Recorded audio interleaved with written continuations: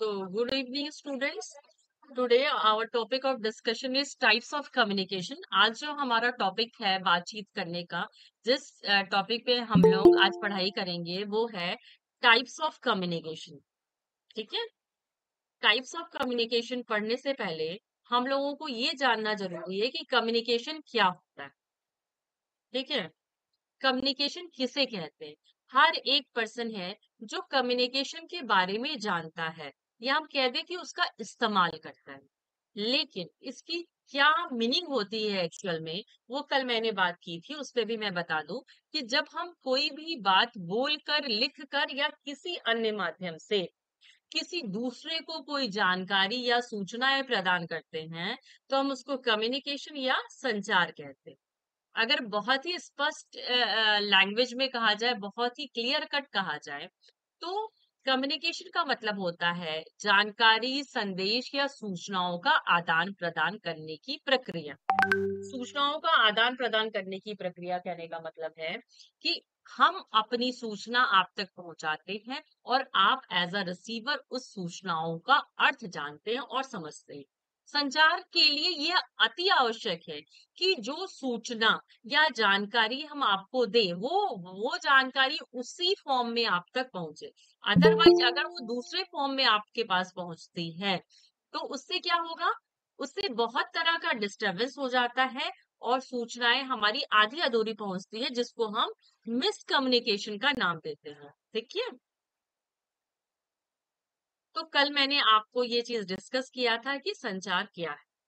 उसके बाद मैंने डिस्कस किया था कि संचार के कुछ प्रमुख तत्व हैं what are the main elements of communication तो कम्युनिकेशन का जो मेन एलिमेंट है, वो होता है sender receiver and message sender क्या होता है? जो कि मैसेज को सेंड करता है, जो मैसेज देता है। मैसेज क्या होता है? जो जानकारी आप देना चाहते हो।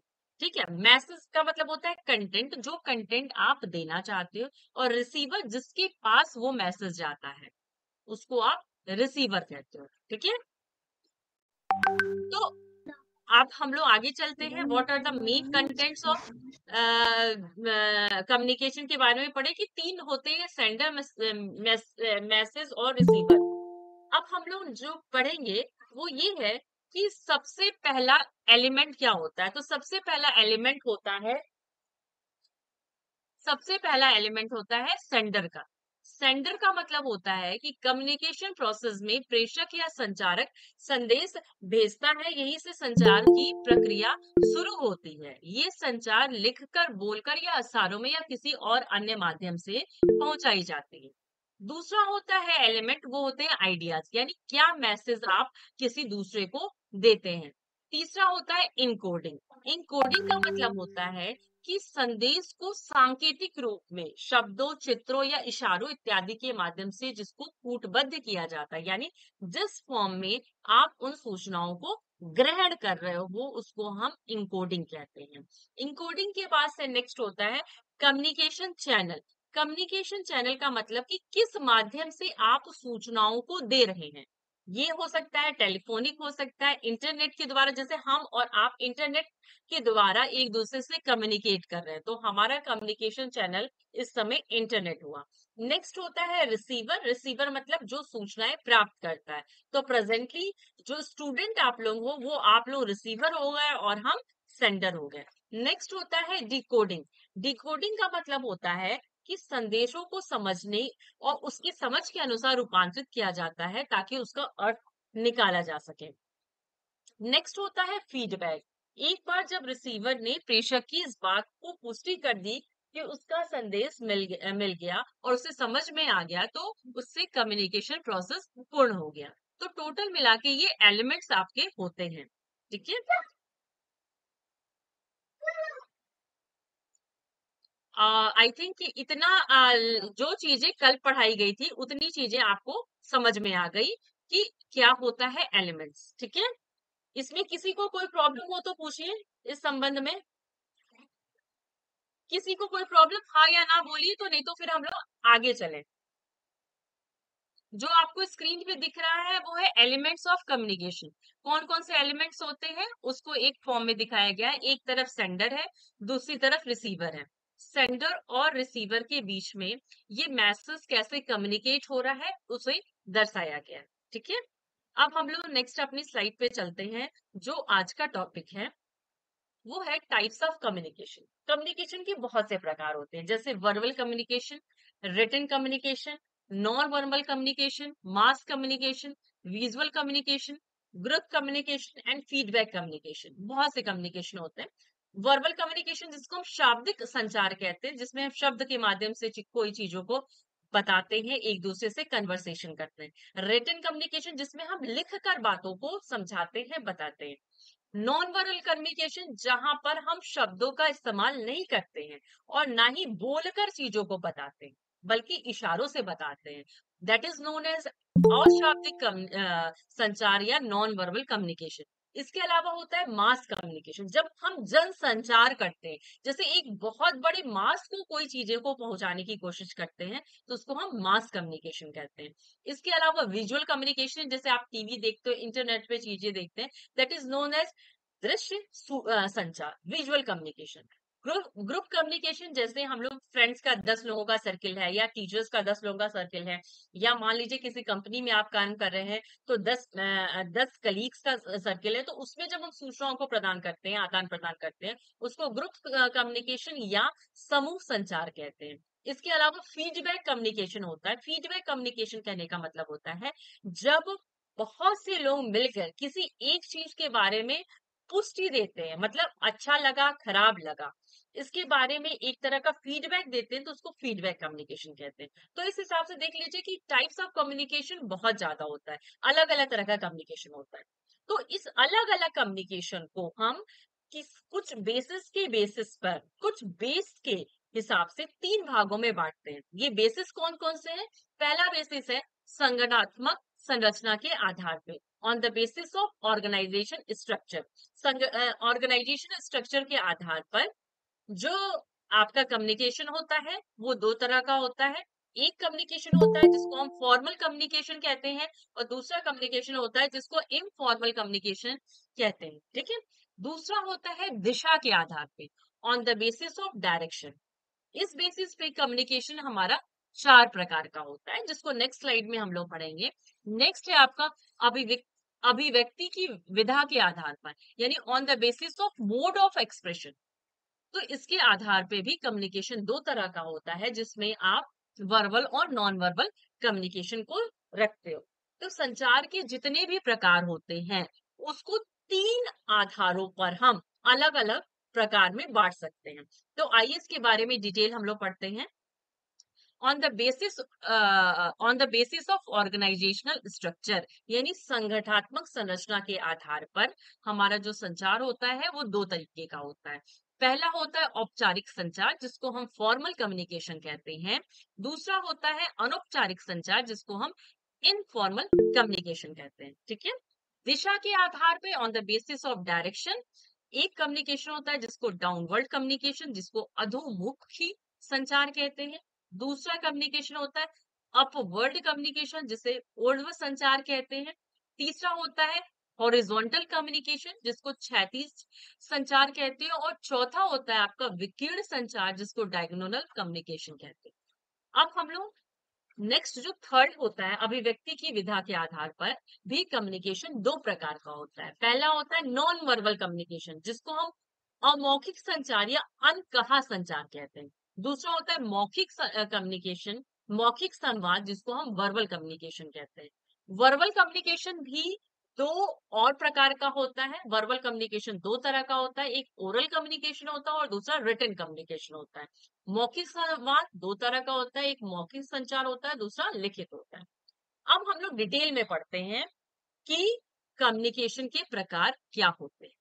जैसे हमने बताया था कि on the basis of organization structure यानी कि संगठन के संरचना के आधार पे जो संचार होता है, वो दो तरीके का होता है। एक को हम औपचारिक संचार कहते हैं और दूसरे को अनौपचारिक संचार कहते हैं।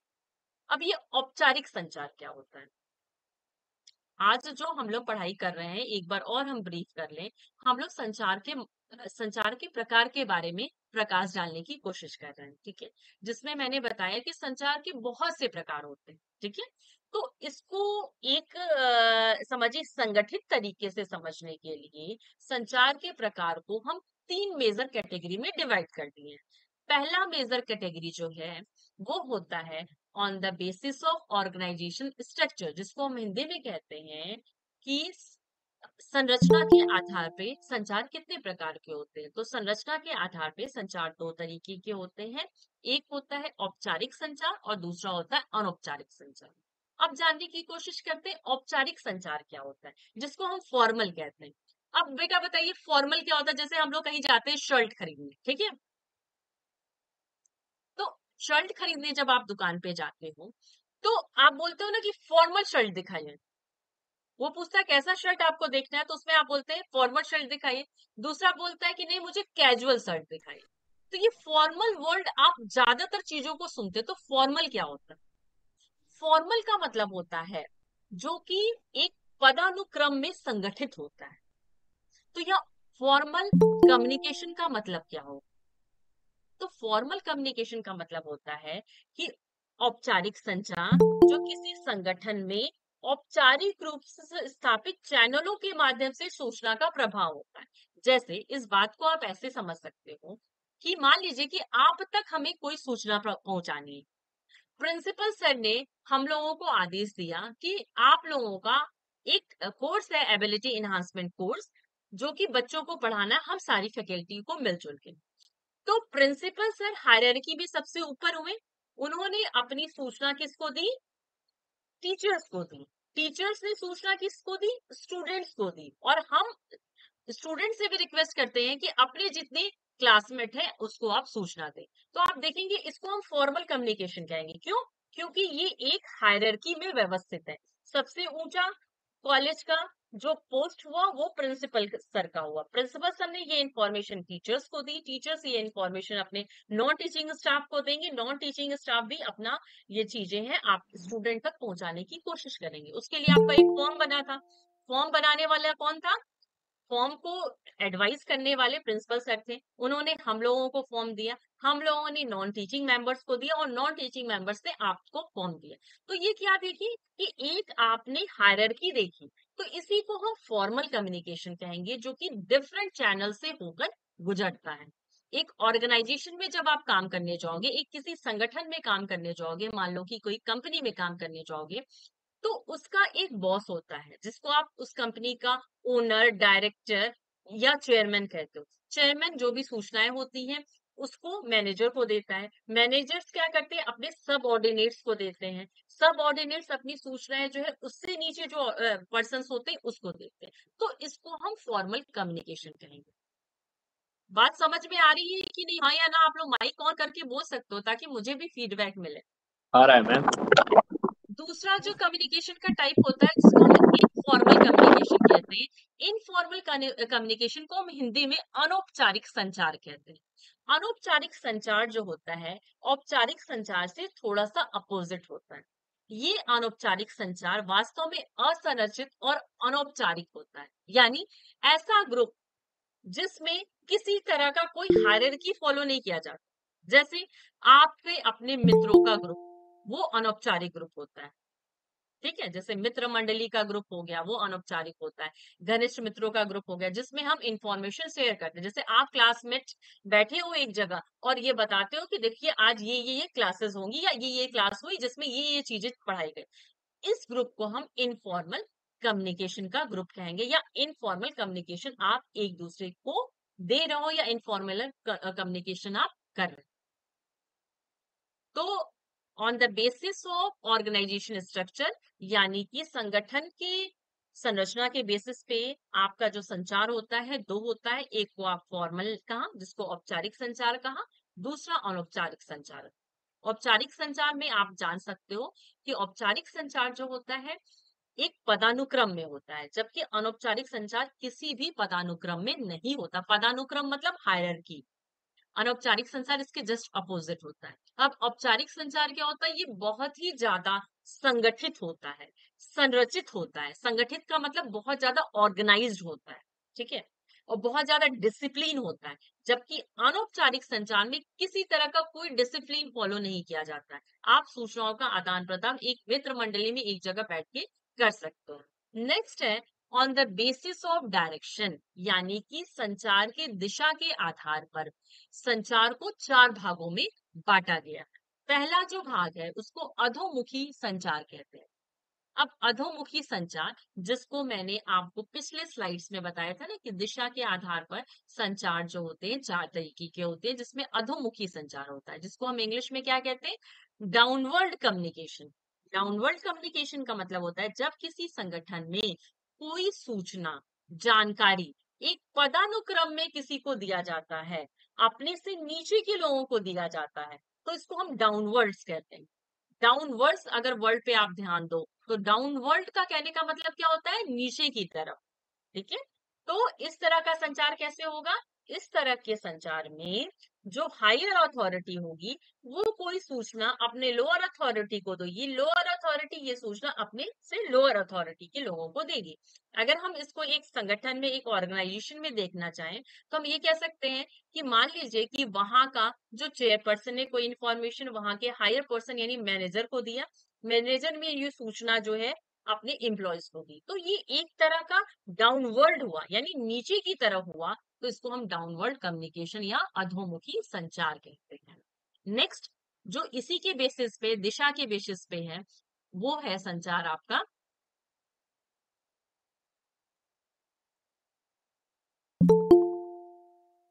एक मिनट एडमिट कर ले लोगों को साथ के साथ।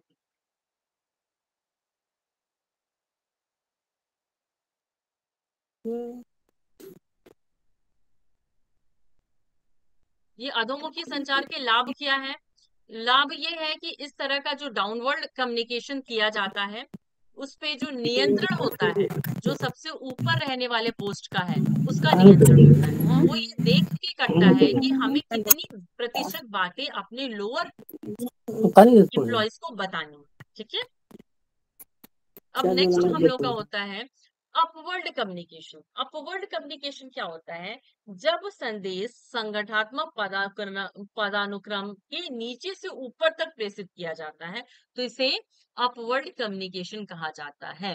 अपवर्ड कम्युनिकेशन मतलब डाउनवर्ड से जस्ट अपोजिट होता है अपवर्ड कम्युनिकेशन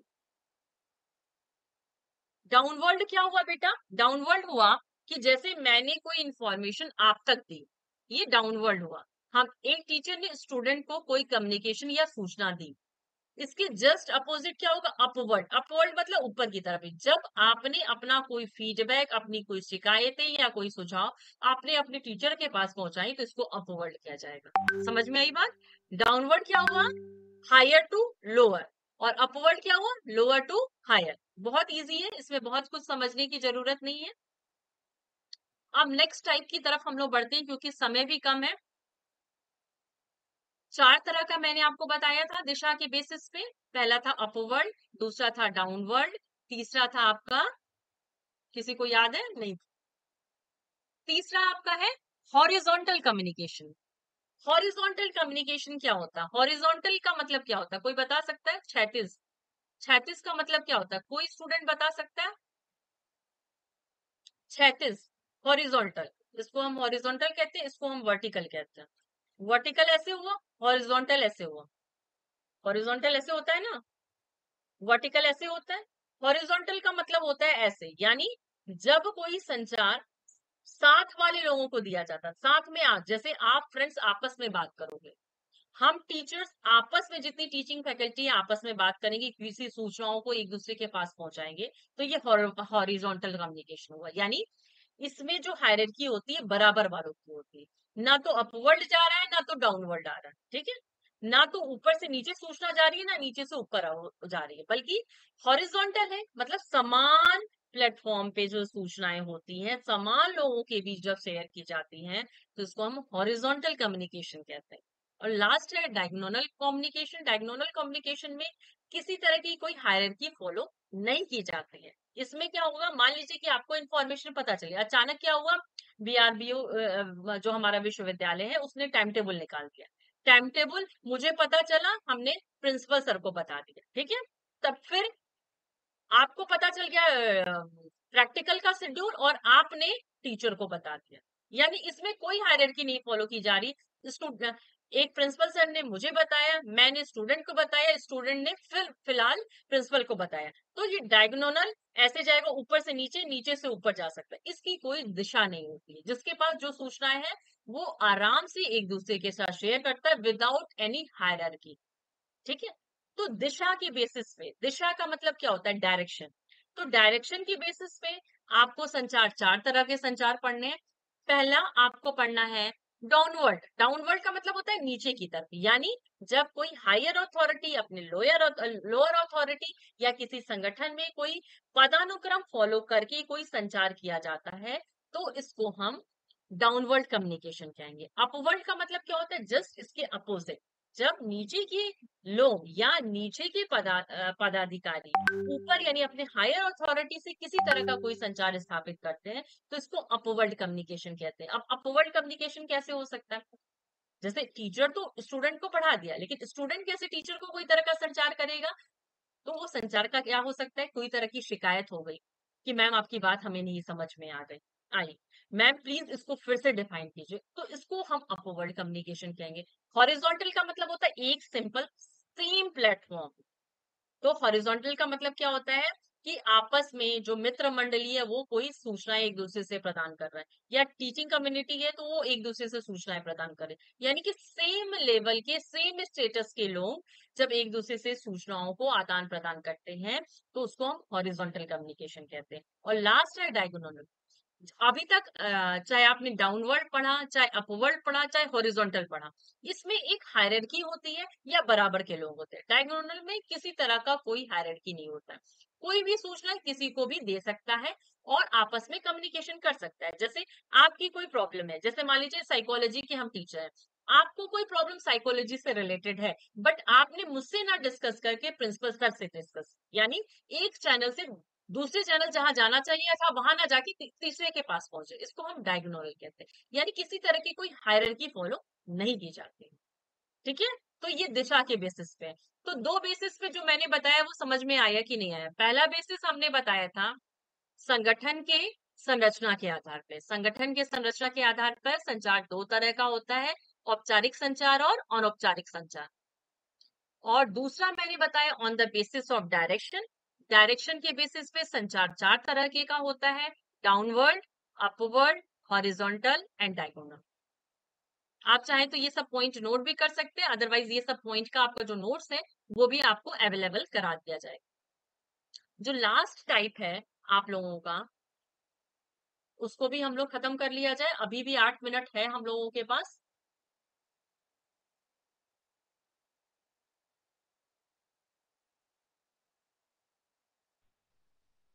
ये सब विकिरण संचार का मतलब होता है कि जिसको हम डायग्नोरल कम्युनिकेशन कहते हैं।